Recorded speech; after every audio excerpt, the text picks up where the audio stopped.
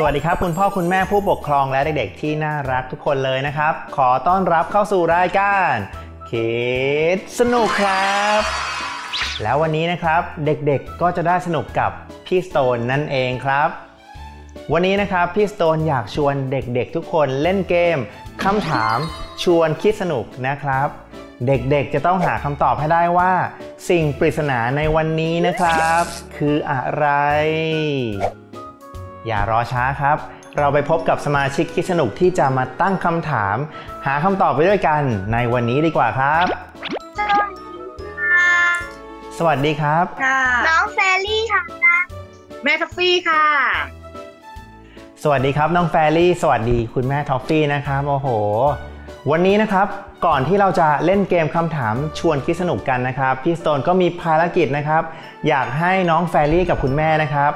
ช่วยพี่สโตนทิ้งขยะ ลงถังเหล่านี้นะครับ จะเห็นว่าถังขยะทั้งหมดมี 4 ประเภทครับ นี่ครับพี่สโตนขอความช่วยเหลือนะครับ มีขยะมากมายเลยช่วยแยกให้พี่สโตนหน่อยนะครับ อืมเอาละครับ ชิ้นแรกมาดูกันนะครับ แกนกระดาษทิชชู่นะครับ น้องแฟรี่ครับ ทิ้งถังไหนดีครับรีไซเคิลค่ะรีไซเคิลถูกต้องครับ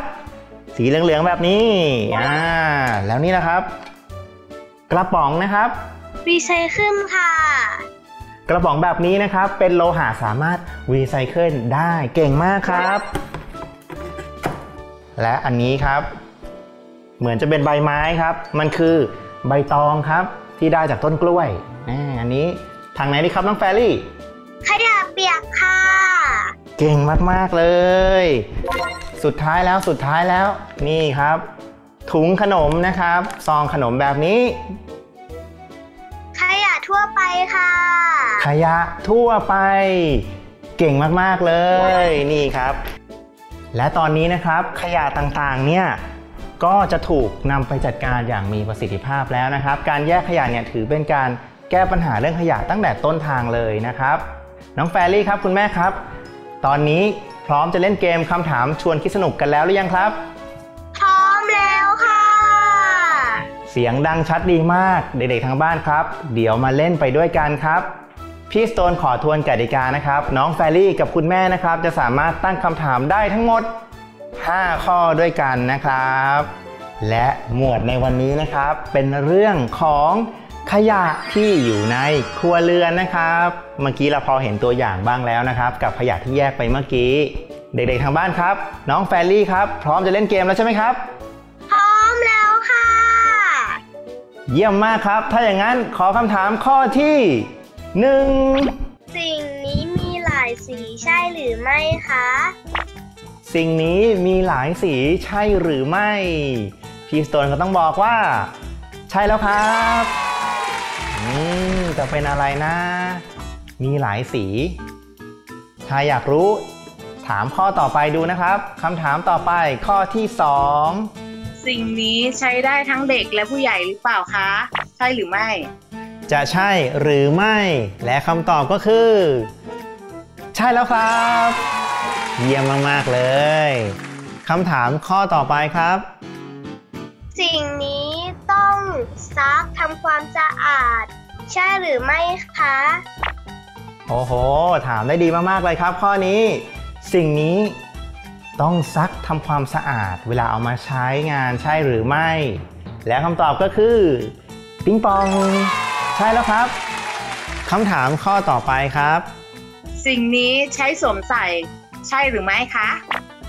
สิ่งนี้เราใช้สวมใส่ได้ใช่หรือไม่ และคำตอบก็คือ ใช่แล้วครับ เด็กๆทางบ้านรู้คำตอบกันแล้วหรือยังครับ ว่าคืออะไรที่เราสวมใส่ได้แล้วมีหลายสีหลายไซส์คำถามข้อต่อไปครับ มีลักษณะเป็นผ้าใช่หรือไม่คะ วัสดุของสิ่งนี้ทำมาจากผ้าใช่หรือไม่ และคำตอบก็คือปิงปอง ใช่แล้วครับพี่สโตนเชื่อว่าเด็กๆทางบ้าน น่าจะรู้คำตอบกันแล้วใช่ไหมครับ แล้วน้องแฟรี่ล่ะครับ รู้หรือยัง รู้แล้วค่ะ โอเค ถ้าอย่างนั้นพร้อมจะตอบเลยไหมครับ พร้อมค่ะ และสิ่งนี้ก็คือเสื้อผ้าที่ไม่ได้จะใช้แล้วค่ะ เสื้อผ้าที่ไม่ได้ใส่แล้ว จะใช่หรือไม่นะ ถูกต้องครับ โอ้โห เก่งมาก ๆ เลยนะครับ น้องแฟรี่ครับ คุณแม่ครับ รู้ได้อย่างไรครับว่าเป็นเสื้อผ้าที่ใส่แล้ว รู้จากคำถามข้อไหนครับ รู้ตั้งแต่ข้อหนึ่งค่ะ อืมโหรู้ตั้งแต่ข้อแรกเลยเหรอครับ เก่งมากๆเลย แล้วคุณแม่ล่ะครับ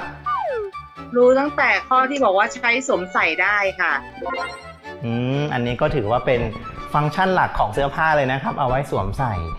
คำถามนี้ยอดเยี่ยมมากๆเลยนะครับ น้องแฟรี่ครับคุณแม่ครับที่บ้านมีเสื้อผ้าเก่าไหมครับ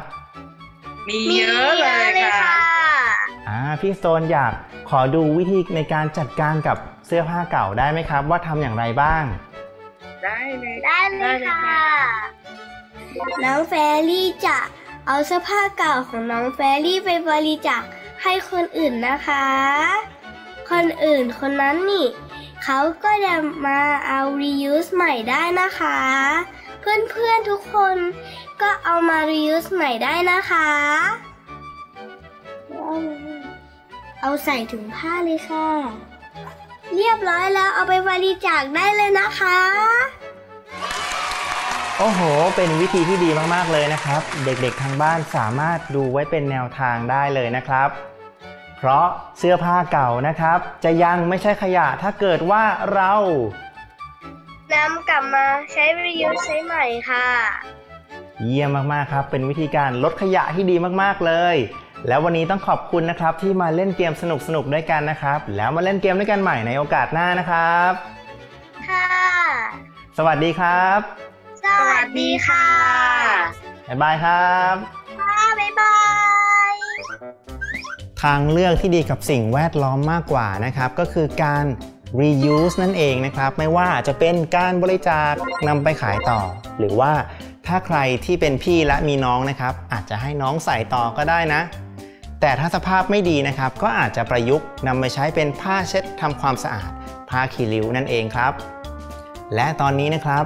ได้เวลาที่เราจะไปดูวิธีการรักโลกแบบอื่น ๆ จากสมาชิกคิดสนุกกันแล้วนะครับ ไปพบกับเขากันเลยครับสวัสดีค่ะ หนูชื่อน้องน้ำอิง เป็นสมาชิกหมายเลข 2298 ค่ะ วันนี้จะมาบอกวิธีการรักโลกง่ายๆ ที่ทุกคนทำได้ค่ะแยกเศษอาหารออกจากขยะประเภทอื่น เพราะว่าเศษอาหารสามารถนำมาทำปุ๋ยได้ค่ะ เพียงแค่มีเศษอาหารที่กองน้ำออกแล้วหนึ่งส่วนของแห้งเช่นใบไม้หนึ่งส่วน และปุ๋ยข้ออีกหนึ่งส่วนค่ะนำมาผสมกันแล้วทิ้งไว้หนึ่งเดือน เศษอาหารก็จะกลายเป็นปุ๋ยให้กับต้นไม้ได้แล้วค่ะ วิธีนี้ยังสามารถช่วยลดกลิ่นขยะภายในบ้านของเรา และยังช่วยโลกของเราได้เยอะเลยค่ะ เพื่อนๆลองนำไปใช้ดูนะคะ ขอบคุณค่ะ บ๊ายบาย ขอบคุณวิธีการรักโลกจากสมาชิกคิดสนุกด้วยนะครับ แล้วถ้าเด็กๆคนไหนนะครับ มีไอเดียแบบอื่นๆนะครับ สามารถส่งเข้ามาได้เลยนะครับ ที่ Facebook Fanpage คิดสนุกตรงนี้นะครับพี่สโตนรอดูไอเดียดีๆ จากเด็กๆ ทุกคนอยู่นะครับ แล้ววันนี้เวลาของรายการคิดสนุกก็หมดลงแล้วนะครับ เด็กๆ แต่ความสนุก